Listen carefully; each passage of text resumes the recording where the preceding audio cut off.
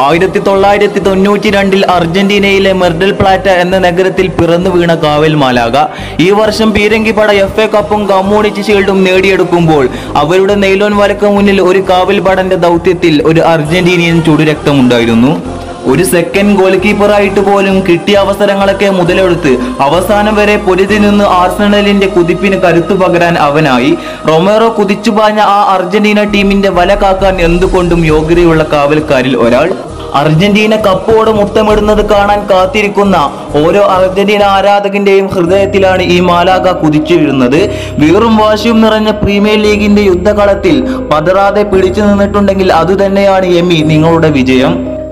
വെമ്പിളിയിലെ ആരാധകർക്ക് മുന്നിൽ ആർസണലിന്റെ റെക്കോർഡ് വിപുലീകരിക്കുന്ന എഫ് എ കപ്പിന്റെ വിജയത്തിന്റെ അവസാനം ഒരു വിഷമകരമായ നിമിഷമുണ്ടായിരുന്നു. ഗൺ പോസ്റ്റുകൾക്കിടയിൽ വീണ്ടും മിടുക്കനായിരുന്ന ഗണ്ണേഴ്സിന്റെ ഗോൾ കീപ്പർ അത് എമിലിയാനോ മാർട്ടിനസ് പരസ്യ ബോർഡിനടുത്ത് ഒറ്റയ്ക്ക് ഇരിക്കുകയായിരുന്നു.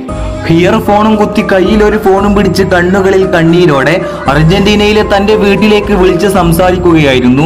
മാർട്ടിനസിനെ സംബന്ധിച്ചോളം ലണ്ടനിൽ തനിച്ചായിരിക്കുക എന്നത് ഒരു പുതിയ വികാരമല്ല. അദ്ദേഹത്തെ അതൊരുപാട് പ്രാവശ്യം അലട്ടിയതാണ്. എന്നാൽ ഇത് തീർത്തും വ്യത്യസ്തമായിരുന്നു. തന്റെ ടീം അംഗങ്ങൾക്കൊപ്പം നന്നായി സമ്പാദിച്ച വിജയം ആഘോഷിച്ചതിന് ശേഷം ഇത്തരത്തിലുള്ള ഏകാന്തതയാണ് അദ്ദേഹം വിലമതിക്കുന്നത്.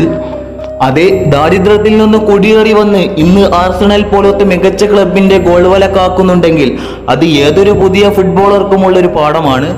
അതെ അർജന്റീനിയൻ ഗോൾ കീപ്പർമാരിൽ ഇന്ന് ശ്രദ്ധ ആകർഷിച്ച ഗോൾ കീപ്പർമാരിൽ ഒരാൾ എതിരാളികളുടെ എണ്ണം പറഞ്ഞ ഷോട്ടുകളെ ഗോൾ പോസ്റ്റിന് മുമ്പിൽ സധൈര്യം നേരിടുന്ന പോരാളി.